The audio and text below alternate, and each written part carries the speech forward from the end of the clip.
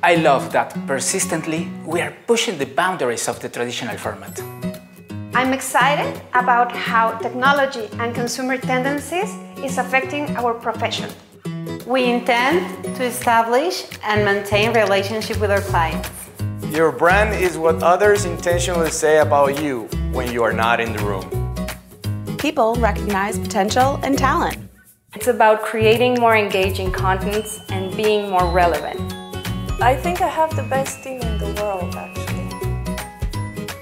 And we know that they have a need, either through a fast response, and of course they want quality, and we offer that here at 121. Mm, my greatest satisfaction as CEO for this company has been to see it grow uh, from two to three individuals to 40 plus professionals that provide service to multinational companies.